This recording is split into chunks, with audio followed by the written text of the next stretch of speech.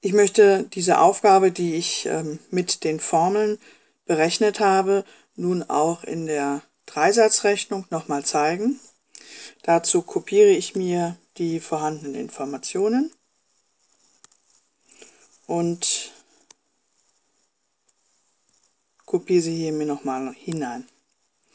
So, jetzt gehen wir an die Rechnung und nutzen dafür aber die Dreisatzrechnung. Dabei schreibe ich mir zur Erinnerung auf, welche Werte wie in der Tabelle zusammenhängen. Allgemein gilt ja, 100% entspricht dem Grundwert und dem Prozentwert W entsprechen die P-Prozent. So, in diesem Fall habe ich ja gegeben den Grundwert 20, also 20, ja, da kann man schlecht sagen, was wir da haben, weil einmal haben wir Schüsse, einmal haben wir Treffe, Treffer, also im Prinzip ist es allgemein eine Anzahl. Und gegeben ist weiterhin, nee, das stimmt ja gar nicht. Das sind ja die 100 Prozent.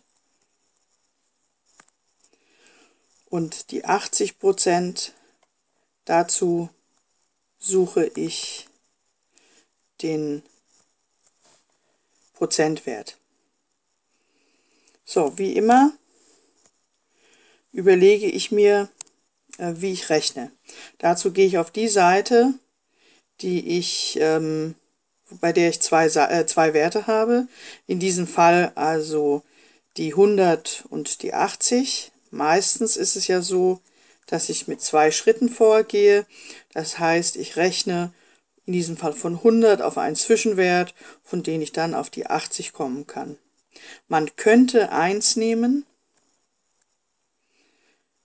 dann müsste ich durch 100 teilen und dann mal 80 mal nehmen.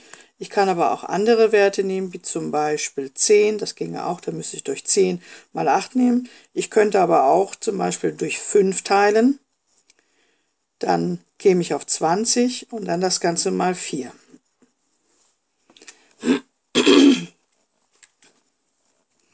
Und wenn ich mir überlegt habe, wie ich da rechne, trage ich das auf der linken Seite genauso ein.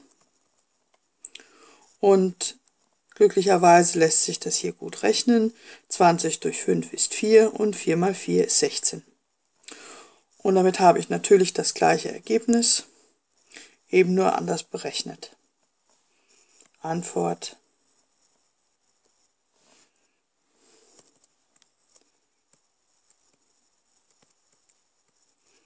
Es sind 16 Treffer zu erwarten.